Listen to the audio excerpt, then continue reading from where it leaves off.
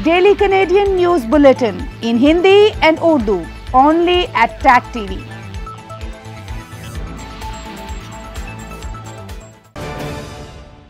Canada میں pilots کی کمی کو دور کرنے کے لیے مزید تبدیلیوں کی ضرورت ہے حکام نے نئی تجاویز دے دی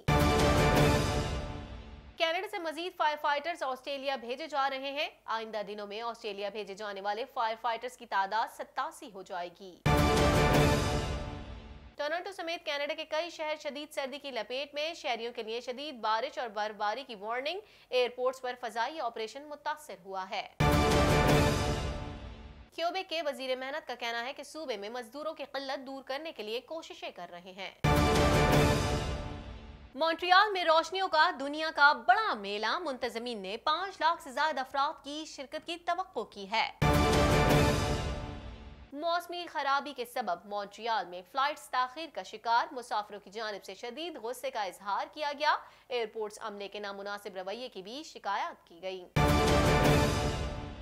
دنیا کے بیشتر ممالک میں نئے سال کا آغاز۔ نیوزی لینڈ کے شہر آکلینڈ اور آسٹریلیا کے شہر سڈنی میں نئے سال دو ہزار بیس کا آغاز ہو گیا۔ امریکی وزیر خارجہ کی اقوام متحدہ کے سیکرٹری جنرل سے ملاقات، امریکہ کے عراق شام پر حملے کا دفاع کیا۔ ہیڈ لائنز آپ نے جانی خبروں کی تفصیل شامل کریں گے اس بریک کے بعد۔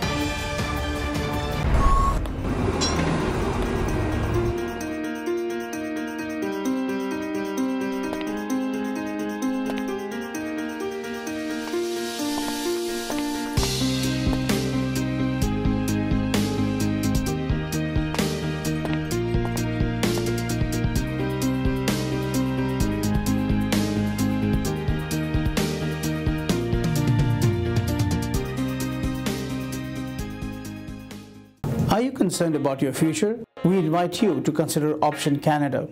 I'm a former Canadian immigration officer and a senior case analyst and have served the Canadian government for 16 years. I provide accurate assessment on every case and I'll be happy to assist you in making Canada your home. For the past 26 years, we have assisted professionals, business people, senior managers, and the self-employed worldwide to relocate to Canada.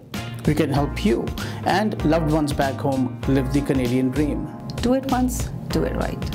Swami Kashi گرو جی کا کہنا ہے کہ وہ آپ کی تمام سمسیاؤں کا حل جانتے ہیں سوامی کاشی گرو جی is a specialist in bringing back your loved ones. He is specialized to sort out generation curses and any problem within 48 hours. آپ کے ڈپریشن فیملی کوٹ پرابلمز اور بے شمار مسائل کے حل کا دعویٰ کرتے ہیں سوامی کاشی گرو جی سے رابطہ کیجیے six four seven 765 six 647 address 565 Markham road Scarborough وفاقی حکام کی جانب سے کہا گیا ہے کہ کینیڈا میں پائلٹس کی کمی کو دور کرنے کے لیے مزید تبدیلیوں کی ضرورت ہے۔ انہوں نے یہ نتیجہ ایک اسکل ڈیولپمنٹ پروگرام کے ذریعے اخذ کیا ہے۔ مزید احوال اس رپورٹ میں۔ وفاق کے حکام کی جانب سے کہا گیا ہے کہ کینیڈا میں پائلٹس کی کمی کو دور کرنے کے لیے مزید تبدیلیوں کی ضرورت ہے۔ انہوں نے یہ نتیجہ ایک اسکل ڈیولپمنٹ پروگرام کے ذریعے اخذ کیا ہے۔ مقامی میڈیا کے مطابق حکام کی جانب سے ایک تجویز دی گئی ہے جو غیر ملکی ایئر لائنز میں بھی استعمال کی جاتی ہے کہ اگر کینیڈا کو اپنی ضرورت کے مطابق پائلٹس بڑھانے ہیں تو ٹریننگ کے دوران انہیں ادائیگی کی جانی چاہیے۔ اس منصوبے کے تحت پائلٹ چند سالوں تک ایئر لائن میں خدمات فراہم کرنے کا پابند ہوگا۔ ایک اندازے کے مطابق دو ہزار پچیس تک انڈسٹری انڈسٹری کو سات ہزار تین سو نئے پائلٹس کی ضرورت ہوگی، لیکن اس میں تین ہزار کی کمی کا سامنا کرنا پڑ سکتا ہے۔ کینیڈا بھر سے فائر فائٹرز آسٹریلیا جا رہے ہیں تاکہ وہاں پہلے سے موجود فائر فائٹرز کے ساتھ شامل ہو جائیں تاکہ وہاں جنگلات میں لگی آگ پر قابو پایا جا سکے۔ مزید جانتے ہیں اس رپورٹ میں۔ کینیڈا بھر سے فائر فائٹرز آسٹریلیا جا رہے ہیں تاکہ وہاں پہلے سے موجود فائر فائٹرز کے ساتھ شامل ہو جائیں تاکہ وہاں جنگلات میں لگی آگ پر قابو پایا جا سکے۔ Canadian inter agency forest forest centre کے افسر کے مطابق کوئنز لینڈ کے لیے پندرہ فائر فائٹرز روانہ کیے گئے ہیں، جبکہ گزشتہ ہفتے اکیس کو وہاں بھیجا جا چکا ہے۔ جبکہ آنے والے دنوں میں وہاں آگ بجانے کے لیے بھیجے جانے والے ماہرین کی تعداد ستاسی تک پہنچ جائے گی۔ ایسا پہلی بار ہوا ہے کہ کینیڈا کی جانب سے آگ بجانے کے لیے فائر فائٹرز آسٹریلیا بھیجے گئے ہو واضح رہے کہ آسٹریلیا میں نومبر کے مہینے سے جنگلات میں لگنے والی آگ بے قابو ہے، جبکہ اس کے نتیجے میں دس افراد ہلاک اور ایک ہزار سے زائد گھر تباہ ہو گئے ہیں۔ ٹورنٹو سے خبر شامل کریں گے۔ آپ کو بتائیں ٹورنٹو سمیت کینیڈا کے کئی شہر شدید سردی کی لپیٹ میں ہیں، جبکہ مشرقی کینیڈا میں تقریباً دو سو کے قریب فلائٹس منسوخ یا تاخیر کا شکار ہو گئی ہیں۔ مزید جانتے ہیں اس رپورٹ میں۔ انوائرمنٹ کینیڈا کی جانب سے مونٹریال شہر کے لیے شدید برف باری کی وارننگ جاری کی گئی ہے، جس کے سبب شہریوں کو ڈرائیونگ کے دوران شدید مشکلات کا سامنا کرنا پڑ سکتا ہے۔ موسمی خرابی کے سبب کئی فلائٹس تاخیر کا شکار ہوئی تاہم ٹوڈو انٹرنیشنل ایئرپورٹ پر فلائٹس تاخیر کا شکار ہونے کے سبب مسافروں کی جانب سے شدید غصے کا اظہار کیا گیا۔ نجی ایئر لائن کی پرواز کو ہیلی فیک سے ہیملٹن جانا تھا، تاہم خراب موسم کے سبب اسے مونٹریال کے ایئرپورٹس پر کئی گھنٹے انتظار کرنا پڑا۔ مسافروں کی جانب سے ائرپورٹس عملے کے نامناسب رویے کی بھی شکایت کی گئی۔ شہر میں پندرہ سے بیس سینٹی میٹر تک برف پڑنے کی توقع ظاہر کی گئی ہے۔ ماہرین کی جانب سے شہریوں کو شدید موسمی حالات سے متعلق تیار رہنے کا مشورہ دیا گیا ہے۔ ماہرین کی جانب سے کہا گیا ہے کہ تیز ہواوں اور برف باری کے سبب حد نگاہ کم ہو سکتی ہے۔ مونٹریال کے ٹروڈو ایئرپورٹ کی ایک ترجمان کی جانب سے کہا گیا ہے کہ موسمی صورتحال کے سبب کئی فلائٹس منسوخ یا تاخیر کا شکار ہوئی ہیں۔ انہوں نے مسافروں سے درخواست کی ہے کہ ایئرپورٹ پر آنے سے قبل اپنی فلائٹس کو چیک کر لیں۔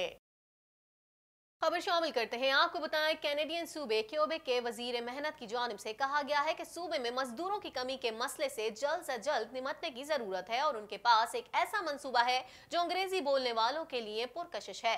مزید احوال اس رپورٹ میں۔ کینیڈین صوبے کیوبے کے وزیر محنت کی جانب سے کہا گیا ہے کہ صوبے میں مزدوروں کی کمی کے مسئلے سے جلد سے جلد نمٹنے کی ضرورت ہے اور ان کے پاس ایک ایسا منصوبہ ہے جو انگریزی بولنے والوں کے لیے پرکشش ہے۔ مقامی میڈیا کو دیے گئے ایک انٹرویو میں وزیر محنت نے اس بات کا اعتراف کیا کہ فرنچ بولنے والے کیوبیکرز کی نسبتاً انگریزی بولنے والے کیوبیکرز میں بے روزگاری کی شرح زیادہ ہے۔ دو ہزار سولہ کے اداد و شمار کے مطابق ان کی تعداد بارہ ہزار کے قریب تھی۔ ان کی جانب سے کہا گیا ہے کہ انہوں نے ایڈوائزری باڈی کو ہدایات دی ہے کہ انگریزی بولنے والے کیوبیکرز کی مشکلات کی نشاندہی کریں تاکہ اس مسئلے کا حل نکالا جا سکے۔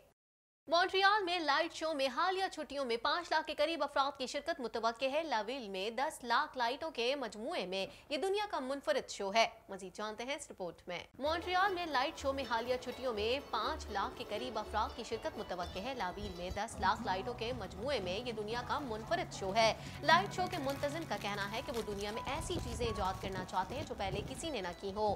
ہائی وے ففٹین کے قریب ایک فٹ بال گراؤنڈ کے سائز کی جگہ کو انہوں نے ایک الگ کی روشنی کی دنیا میں تبدیل کر دیا ہے، جہاں ملٹی میڈیا انسٹالیشن میں تقریباً دس لاکھ رنگ برنگی لائٹس لگائی گئی ہیں۔ انہوں نے اپنے شو کے لیے ڈیزائن کردہ لائٹوں کے بارے میں بتایا کہ ان لائٹوں نے انہیں خیالی دنیا تخلیق کرنے کا موقع دیا ہے۔ ان کے مطابق، یہ دنیا کا سب سے بڑا لائٹ شو ہے۔ یہاں نبز ایل ای ڈی کسی بھی دوسرے متبادل سے کم توانائی استعمال کرتی ہیں۔ روشنیوں کے اس میلے کے منتظمین کی جانب سے کہا گیا ہے کہ وہ پر امید ہے کہ وہ اختتام تک پانچ لاکھ کے قریب افراد کو اس میلے میں خوش آمدید کہیں گے۔ کچھ بات کریں گے انوائرمنٹ کینیڈا کی جانب سے مونٹریال شہر کے لیے شدید برفباری کی وارننگ جاری کی گئی ہے، جس کے سبب شہروں کو ڈرائیونگ کے دوران شدید مشکلات کا سامنا کرنا پڑ سکتا ہے۔ مزید جانتے ہیں اس رپورٹ میں۔ ٹورنٹو سمیت کینیڈا کے کئی شہر شدید سردی کی لپیٹ میں ہے جبکہ مشرقی کینیڈا میں تقریباً دو سو کے قریب فلائٹس منسوخ یا تاخیر کا شکار ہو گئی ہیں۔ انوائرمنٹ کینیڈا کی جانب سے آنٹیریو کے بڑے حصے کے لیے شدید بارش اور برفباری کی وارننگ جاری کی گئی ہے۔ شہریوں کو ہدایت کی گئی ہے کہ سفر کے دوران احتیاطی تدابیر اختیار کریں اور فلائٹس کی منسوخ منسوخی اور تاخیر کے لیے تیار رہیں جبکہ صوبائی پولیس نے کہا ہے کہ موٹر سائیکل سوار غیر ضروری سفر سے اجتناب بڑھتے۔ حکام کی جانب سے کہا گیا ہے کہ شدید برفباری کے سبب شہریوں کو بجلی کی بندش کا سامنا کرنا پڑ سکتا ہے۔ امریکہ کے وزیر خارجہ مائک پومپیو نے اقوام متحدہ کے سیکیٹری جنرل کے ساتھ ملاقات میں امریکہ کے عراق شام پر حملے کا دفاع کیا۔ مزید جانتے ہیں اس رپورٹ میں۔ امریکہ کے وزیر خارجہ مائک پومپیو نے اقوام متحدہ کے سیکیٹری جنرل کے ساتھ ملاقات میں امریکہ کے عراق شام پر حملے کا دفاع کیا۔ وزارت خارجہ کی ترجمان مورگن آرٹیکٹ نے کہا کہ وزیر خارجہ نے سیکیٹری جنرل کے ساتھ حال ہی میں عراق شام میں امریکی حملے کے حوالے سے گفتگو کی ہے۔ اس حملے میں ایک امریکی شہری کی موت ہو گئی اور کئی دیگر امریکی شہریوں کی زندگی خطرے میں پڑ گئی۔ مسٹر صدر پومپیو نے حملے کا دفاع کرتے ہوئے بار بار کہا کہ یہ کاروائی دفاعی مقصد سے کی گئی تھی۔ قابل ذکر ہے کہ امریکی محکمہ دفاع نے کہا تھا کہ عراق کے کرکوک شہر میں حزب اللہ باغیوں کے حملے کے جواب میں امریکہ نے عراق اور شام میں پانچ حزب اللہ گروپوں کے خلاف دفاعی حملے کیے تھے۔ حزب اللہ باغیوں کے اس حملے میں ایک امریکی ٹھیکیدار کی موت اور چار فوجی زخمی ہو گئے تھے۔ حال ہی میں امریکہ کی طرف سے ایران کی حمایت یافتہ باغیوں سمیت حزب اللہ پر کیے گئے حملے میں پچیس ہلاک اور اکیاون دیگر زخمی ہو گئے تھے۔ اسی کے ساتھ ہی ٹیک ٹی وی کے پاکستان اسٹوڈیو سے فی الوقت اتنا ہی۔ مزید خبروں اور اپڈیٹس کے لیے دیکھتے رہیے TAC T V